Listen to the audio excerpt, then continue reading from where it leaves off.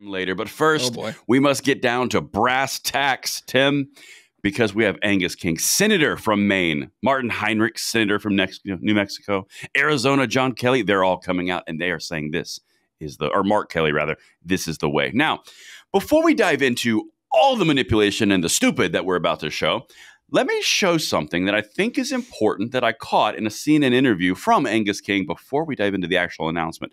Dr. Button Pusher, let me know you're alive, and then after that, let's hit number one. I will find you. And I will kill you. Yes. He's a little uh, scary this He's a, morning. little, Doc? he's a little spicy this You morning, but that's okay. but that's okay, Doc. That's okay. I like the energy. You're bringing it. Let's hit number one, though.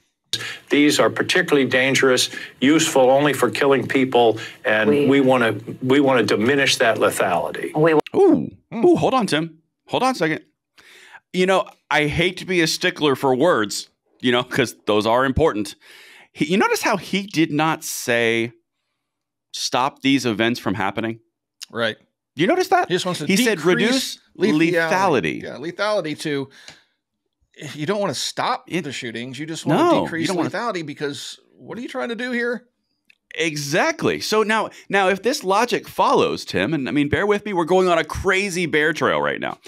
Um, if you're going to put forward a bill that pretty much removes any gas-operated uh, firearm or rifle, which would be the Go part of Go Safe Act, gas-operated, um, and you're trying to reduce magazines to a, max- a maximum of ten, you're not getting rid of the actual firearms that are already here. Wouldn't that imply all of these things that you know that people are going to do bad things with firearms, but you're just trying to minimize lethality on something you can't stop? Wouldn't that kind of follow? It kind of sounds that way. I don't know if that's what he means or not. They don't think these things through. They Right. they they kind of just run at this wall and they, they forever say stupid stuff, right? We're- That's part of the fun of the second legacy is we constantly pick apart the stupidity. And so it- it's just more of that. I don't think this has ever been a, a, fully uh, you know, thought out exercise in their minds. They just have the end goal of taking your guns away, and they'll say whatever they have to to scare the fence Oh, setters yeah? and the, the people that are outside of the community into voting for their lunacy. Wow, you are you are feeling generous this morning. What was in those apple jacks? Because that's a lot of positive intent, and I like the vibe. I do. I look forward to showing you more clips, which will demolish that into the universe. But I like where you're at right now. So, you know what, Tim? Hmm. Before we hear from more Angus King, you know, just common sense gun reform, gun control, it's all good. Uh, let's go to Mika Brzezinski because that'll get you goat. This is number two, Doctor. The hour, it's been a month since the mass shooting at a bowling alley and restaurant in Lewiston, Maine, that left 18 people dead. A staggering number that only begins to show the magnitude of America's gun problem.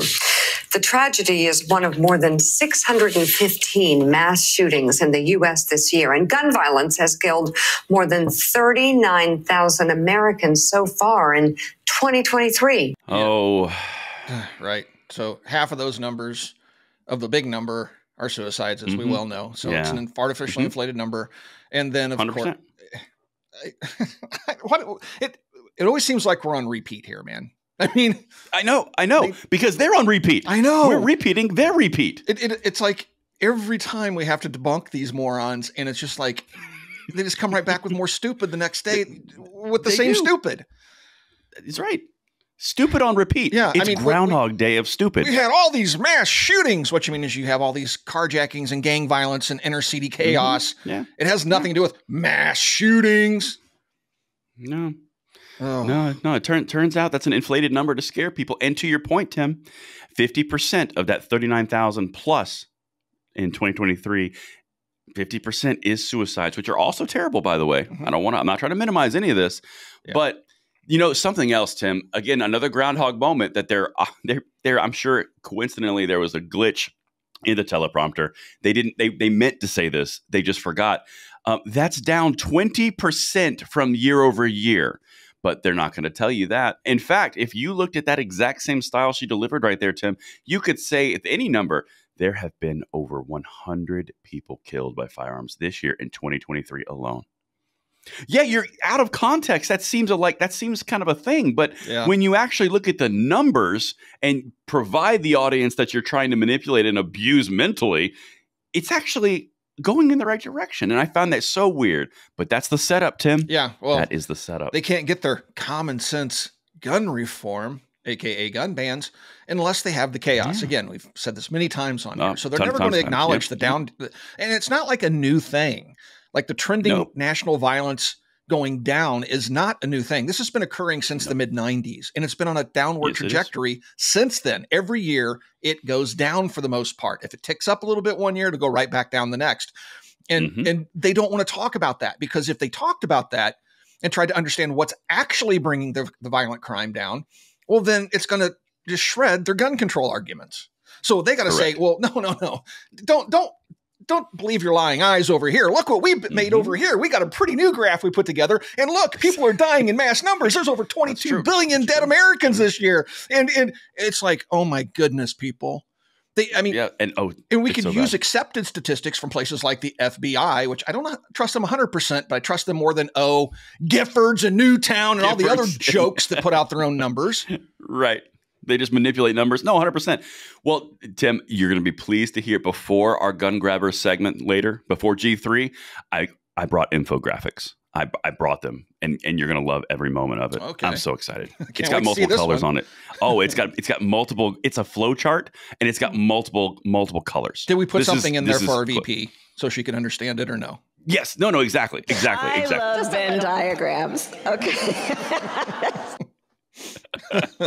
nice. Thanks, you know what? I would just like I would just like to compliment the setup, the ex- execution of that, and then the the follow through. It was so good. It was so good. But Tim, Tim, I think this is important, my man, because it's Friday and we got to be real with the people. The second legacy.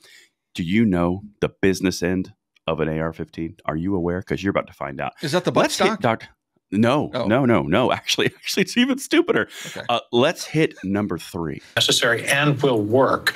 Uh, the what we're focusing on is the way the gun operates rather than what it looks like. Okay. Because if, if you say you're banning a gun because of what it looks like, the manufacturers can modify the, the looks and then they escape the, the, the ban. So what we're focusing on is the high capacity magazine Right. this is the business end of these things that's what makes them so dangerous is when the shooter can keep shooting so our bill says you, you have to have a fixed magazine in the gun 10 bullets maximum no no uh, no uh, detachable magazine Right.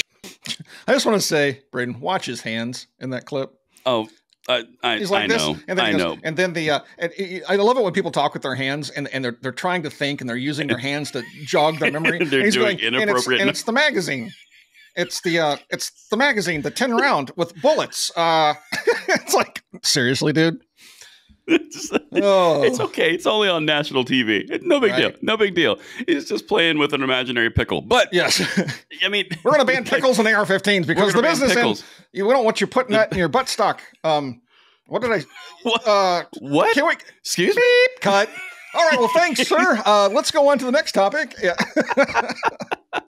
oh, No, no, no. That, that was a good observation. They are clowns. But it turns out, Tim, that the magazine, the magazine, business is the business end. And all these- it is. All these years, we we in the two A community thought the muzzle was the business end, and it, we didn't, Right. We didn't know that it was the clipazine.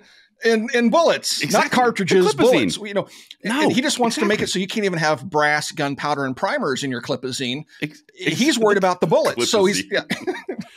We're going to regulate the bullets. Yeah, Um, yeah, but that's that's what we've been doing wrong. You never put your hand in front of the muzzle or anything in front of the muzzle. You're not willing to destroy. That rule is is obviously well, you wrong. don't want to You destroy. never- yeah, you got to be careful with the magazine too, Yeah. because yeah, you never do that. Yeah, never- don't touch the you magazine when you're shooting. It's so bad. It's so bad. So so that's the business end of the gun. that's the business end. And and after all, we're gonna we're going to solve the problem of mass shootings and the massive issues we have in this country by reducing from 30 rounds to 10 rounds, Tim. 10, because now 10. Uh, so I got to talk about the 10 number because this drives me Okay. nuts, dude. Where did they come Okay. up with the 10 number? It's like the six foot rule during C19. Just arbitrary. You know, why not nine? Why not 11? What's magic about 10? Is it just a round number? What do you like so much about the number 10? Why not 15? Exactly. I mean, Yeah, the standard about? capacity for an AR-15 is actually 30, but we don't want to do that because that's just too much in the clipazine. We got to regulate the number of know. bullets, not cartridges, bullets.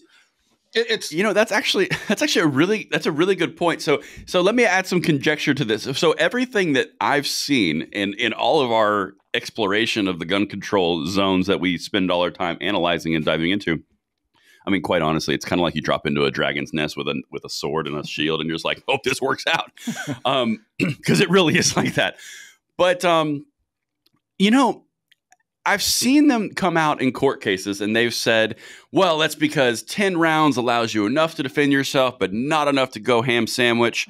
Um, it's it's always based off this little fuzzy idea that you don't need 10 rounds and it only takes effectively one and a half and the average defensive use is like 1.67 rounds. It's something around that but they've never given a true reason why 10 is the magical number. Well, see- I don't know if it's be it one more than nine, so it's not like the New York Act, or or it's like one less than eleven because 11's the number of like of like some god and uh, Thor. like, I have no idea. Yeah, they don't know. And what this is what's interesting. So if you go back in time, I think it was during the Obama administration, there was actually an Indiana sheriff that posted a video on YouTube that went viral. And he took a, a female shooter that was not an experienced shooter, not a competition shooter, and he gave her a handgun with three 10 round magazines, and he gave her a handgun with two 15 round magazines. And and he had her shoot on the clock and reload and hit targets. And guess what didn't Okay. change in any significant way? The number of rounds she could fire in X amount of time. The magazine oh. reload takes a fraction of a second, even in unexperienced hands. So what you won't see them doing, at least yet, is going to say, "Well, you can only have ten rounds," although he did say fixed, so you can't change magazines. right, exactly. So they're trying to address that because they can never deal with that problem. Like, well, okay, we're going to say you only have 10 rounds, you can only carry one spare magazine. And you can only, if you're right handed, you can only reload with your right hand because we want you to lay your gun down, take the magazine out, put the magazine and pick the gun back up. If we catch you loading with your left hand, doing it quickly, now we're going to charge you with a felony. I mean, th- this is the mental gymnastics these morons have to go through to try and to regulate guns. But keep in mind, this is only an interim step. That's why the stupidity doesn't really Yes, matter to them. that's why if they can so get this right. done, then it's just one step in the direction of total confiscation a ban, which is their end goal. So that's why none of this makes sense. It's just like the NFA; it doesn't make sense because there's a bigger Yeah. objective, there's a bigger agenda push there. Well, you know, it's it's funny you say that, Tim, because again, yet again, you follow the line without even knowing where the line is going because you just set up the next clip perfectly, and you haven't even seen this I part haven't yet. seen it yet. Okay. You haven't even seen this part yet. This is so glorious. I love when you do that. So we've got one more clip from Angus King, and fair warning to you, Tim. Blood might be about to shoot out of your eyeballs. Fair warning. Fair warning. So just get ready. So, Dr. Button Pusher, this is number four. What's the argument to gun owners who want their rights protected and would argue that they should have a right to have this weapon? Well, the, the best argument is just, Justice Scalia, who was really the, a pro-gun conservative justice, and he made the point that the First Amendment, the Second Amendment, is not absolute. Like the First Amendment, there are limitations, and he said it doesn't mean that you can use any gun whatsoever in any place whatsoever under any mm-hmm. circumstances. So. What we're, this is really historically consistent with 100 years ago, almost 100 years ago, machine guns have been heavily regulated, essentially banned, and sawed off shotguns. Why? Because they're especially dangerous. This is exactly the same uh, pattern that we're going after to say, look, these fit into this category of especially dangerous. We're not taking guns away from anybody, we're, but we're saying you can't manufacture new ones with these detachable magazines. Wow. Where do you start with that one? Oh, there's so many places. There's so many. There's so many start. It's like a build your own adventure. There's so there's so many great But points here, right here there. again, uh, let's let's just take the end and and, and work to the front, right? So Backwards? He's, Okay, okay. He, he he starts in with, you know, well, you you can keep what you have. So you mean the three hundred million that are out there aren't a problem, just the new ones are. Right, right, right. Well, so this is this is AR. So it's 25 million. That's the important number. We're gonna go back to that in a second. I know, but so it's it's just yes, I, I blew that number up just because I'm being overly dramatic here. But what I what I'm trying to say is there's no consistency in their policies and and when they outline their policies it only serves to illustrate that they're not serious that there's something else they're driving towards it's not reasonable gun control and safety like they're always saying because if that were the case they wouldn't be doing what they're doing and saying what they're saying. It, it's oh my goodness. Okay, well, that, well, It's gonna so give me that, an so that was a good. aneurysm. I know. and, I you know what's funny? Blood. and, and, and they go into this like well you know machine guns are especially dangerous. Are they? Are they really? Because have you served in the infantry? You know what they teach you? To use semi-automatic. Why? Because it's aimed fire. That's how you win wars. You hit the enemy. You don't spray lead into the air. It's It's true. It's, can I get a Gavin Newsom? Yeah, actually. That's true because it's true. mind-boggling Oh, oh, oh, and, and that's not even my favorite part of that. That's a very good point, though, Tim, with the NFA and the extremely dangerous because they're angling all of that. That entire segment of clip was to angle to get ARs inside the NFA, all the while using the Heller decision of which he's going with Scalia, right because that's that's actually in the Heller decision of they're not all unlimited or the, the rights are limited. but then he went Yeah, on to say the- things that scalia did not say Exactly right. And he also omitted things that Scalia did say. Right. So he removed the idea around common use, which was from Miller, which was referenced in the Heller decision, completely ignored that. 24 million of these are in circulation. So that's one thing he just completely ignored. And then the other thing is he added the idea that ARs are extremely dangerous weapons, which would put them underneath the NFA, which would be a tax stamp situation for an AR all this part made me angrier than any of the rest of it because he's manipulating people who don't know what he's talking about. yeah And it's just he's omitting little pieces here and he's adding pieces here to make it a completely different decision. right And then he's trying, well, it's he's a pro gun, he's a pro gun SCOTUS, so it's okay. Liar. Liar. It's interesting that they've they've devolved into just focusing on the magazines. They seem to have learned from the 94 assault weapons ban because I've had this argument with many of the gun grabbers, right?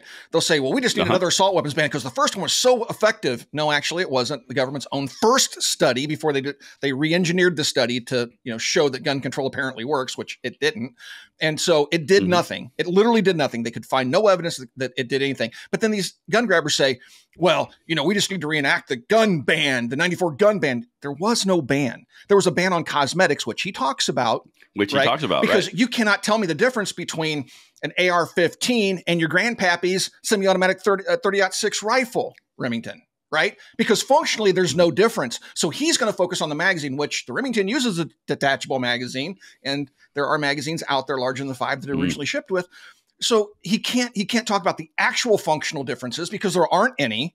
He wants to now focus on the magazine. So they're trying to figure out, well, where can we go with this? Because we got, you know, our pickles slapped and we talked about muzzle devices and flippy things that go up and barrel shrouds because they don't really change the functionality of the weapon. It only messes with the appearance. So we got to go after the functional differences. So well, what's the functional difference? Exactly. Um uh the magazine. Let's go after the magazine. Oh.